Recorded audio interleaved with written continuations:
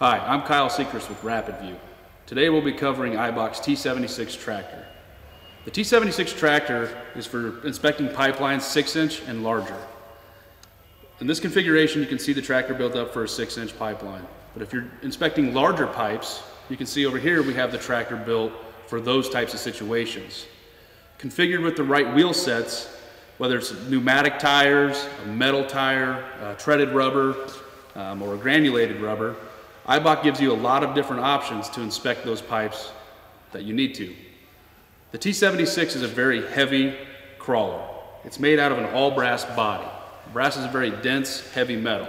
The reason this is important is because a lot of times when we're TVing pipe, one of the limiting factors of getting as much, as much pipe TV'd as possible is traction. The IBAK T76 tractor also has additional weight kits available for it. So when you get into those larger diameter lines and you have high flow, high velocity, you have the ability to add weight to that crawler. That way it won't get away from you.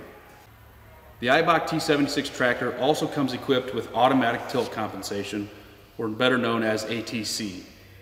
That feature allows the crawler to self-correct as it's traveling down the pipeline. When the crawler is traveling down the pipeline and it starts to ride up one sidewall or the other, we're actually going to shut off the power to the inside drive wheels and that forces the tractor back down to the center of the pipe. It also has our dual axis connector. This dual axis connector allows us to pull straight on the cable no matter which direction the crawler is moving and it eliminates the need for any external strain reliefs. Remember, all IBAK crawlers are air pressurized as well.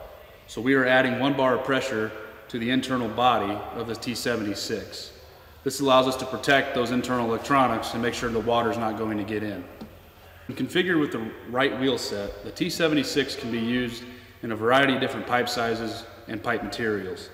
You'll see the crawler set up for a smaller pipeline, a six inch pipeline right here, but if you were inspecting larger diameter pipe, you would use a setup that utilizes axle extenders and large pneumatic tires and the electric scissor lift.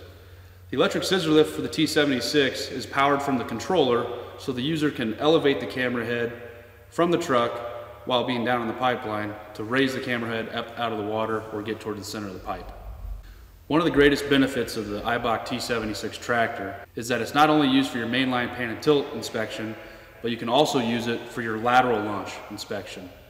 The T76 tractor body is, is used with the LISY system, which just bolts right onto the tractor, and then now you've turned your mainline pan and tilt system into a lateral launcher. There's no need to buy a whole separate crawler or have to worry about maintaining another piece of equipment. So if you're looking for a mainline crawler that's very robust, high quality, that's going to be able to do a lot of different applications for you, look at the T76. Again, six inch pipeline and up, no problem with the larger diameter pipelines with the electric scissor lift, axle extenders, the available weight kits that you can add to this system, also the ability to switch from mainline to lateral launch. Thank you for joining today's overview of IBAK T76 tractor.